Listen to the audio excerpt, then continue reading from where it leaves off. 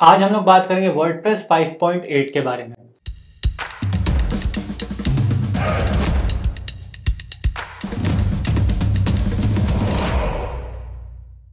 Hi guys मेरा नाम है कृपेश आडवाणी, यहाँ पर मैं वेब होस्टिंग और वर्डप्रेस रिलेटेड वीडियोस बनाता रहता हूँ। आज हम लोग बात करने वाले हैं वर्डप्रेस 5.8 के बारे में। इसका स्टेबल वर्जन लॉन्च हो गया है तो इसमें क्या क्या चेंजेस किए गए हैं कौन कौन से इंपॉर्टेंट चेंजेस है जो आपको पता होने चाहिए, और क्या आपको इसको अभी अपग्रेड करना चाहिए कि नहीं सब कुछ बात करेंगे आज के इस वीडियो में। तो यहाँ पर मैंने वर्डप्रेस 5.8 को इंस्टॉल कर दिया है, जो इसमें सबसे पहला चेंज है वो है कि अब आप लोग विजिट्स पे ब्लॉक को ऐड कर सकते हैं। फॉर एग्जांपल यहाँ पर जैसे आप लोग अपीरियंस विजिट्स पे जाओगे तो इस तरीके का यहाँ पर आपको बार देखने को मिलेगा। एंड अब आप लोग यहाँ पे किसी भी ब्लॉक को ऐड कर सकते हो एज अ विज़िट जैसे मैं यहाँ पर चाहूँ तो मुझे यहाँ पर आइकन लिस्ट चाहिए।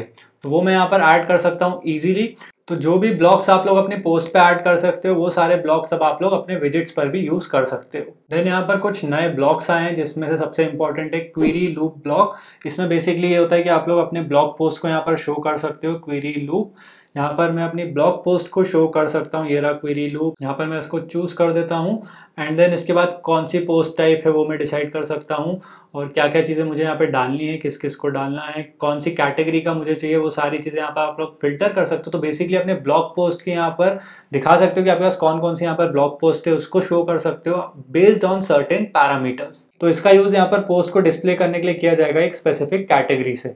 इसको आप लोग अपने ब्लॉग पोस्ट के भी अंदर इंक्लूड कर सकते हो। फिर यहाँ पर इसके बाद कुछ ग्यूटनबर्ग पे चेंजेस करे गए हैं। ग्यूटनबर्ग एडिटर पे काफ़ी सारे बग्स को फिक्स कर दिया गया है। अभी ज़्यादा अच्छा है, ज़्यादा थोड़ा बहुत फास्ट भी हो चुका है। एंड देन जो इसमें मुझे सबसे अच्छी लगा है, वो है इसका यहाँ पर आउटलाइन जो ये आउटलाइन देता है, ये मुझे अच्छा लगा है। पहले काफ़ी कंफ्यूजिंग हो जाता था कि एग्जैक्टली exactly मैं कहाँ हूँ, फिर मैं इसके टाइटल पे कैसे जाऊँगा। तो अब ये चीज़ मुझे यहाँ पर काफ़ी अच्छी लगी है। मैं यहाँ पर डाल देता हूँ। बटन्स ये मेरे बटन आ गए।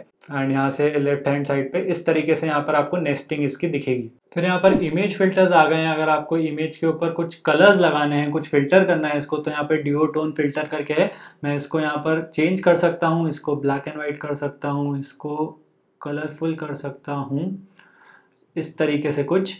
एंड अगर मुझे इसको एज अ कवर फ़ोटो बनाना है तो वो मैं डाल सकता हूँ, मैं इसके ऊपर टेक्स्ट डाल सकता हूँ ऐड टेक्स्ट ओवर इमेज को से इस तरीके से हो जाएगा ये कि कवर फ़ोटो टाइप बन जाएगा।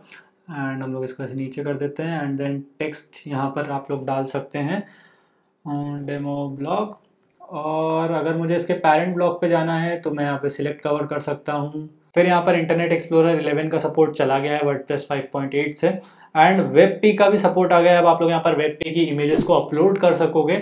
इसको आप लोग डायरेक्टली कन्वर्ट नहीं कर सकते हो कि आपने जेपीजी डाल दिया और वो ऑटोमेटिकली कन्वर्ट हो रही है। वो आपको अपने एंड से कन्वर्ट करना पड़ेगा। देन वेब पी पे कन्वर्जन के बाद आप लोग इसको अपलोड कर सकते हो वर्डप्रेस पर। और एक जो सबसे इंपॉर्टेंट चेंज हुआ है, वो ये है कि वर्डप्रेस 5.8 के ऊपर अब आपको यहाँ पर टेम्पलेट एडिटर भी देखने को मिल जाएगा। और इसको इनेबल करने के लिए सबसे पहले आपको अपने फ़ंक्शन डॉट पी फ़ाइल पे जाना है एंड देन ये वाला कोड आपको पेस्ट कर देना है। इसके बाद ही वो इनेबल होगा। उसके बाद जैसे ही आप लोग नया पेज या पोस्ट ऐड करोगे, आपको टेम्पलेट का ऑप्शन दिख जाएगा। यहाँ पर मैं एक नई टेम्पलेट क्रिएट कर देता हूँ। डेमो टेम्पलेट तो पेज बिल्डर्स जैसे होते हैं, वहाँ से आप जहाँ से आप लोग अपनी टेम्पलेट्स को बना सकते हो कि वो पेज कैसा दिखेगा, वो वाली पोस्ट कैसे दिखेगी, कौन सा उस पर टाइटल आना चाहिए, कौन सा उस पर नहीं आना चाहिए टाइटल दिखना चाहिए टैग्स दिखना चाहिए डेट दिखनी चाहिए कि नहीं दिखनी चाहिए। फॉर एग्ज़ाम्पल मैं चाहता हूँ कि टाइटल के नीचे यहाँ पर डेट भी आए। तो डेट का मैं यहाँ पर ब्लॉग डाल सकता हूँ, ये रहा पोस्ट डेट तो फिर यहाँ पर डेट आ जाएगी। यहाँ पर टाइटल आ गया। तो टेम्पलेट के अंदर आपको कुछ नए ब्लॉग्स भी देखने को मिल जाते हैं, जैसे कि साइट लोगो है साइट टाइटल है पोस्ट टाइटल पोस्ट डेट ये सारे ब्लॉग्स आपको यहाँ पर देखने को मिल जाते हैं।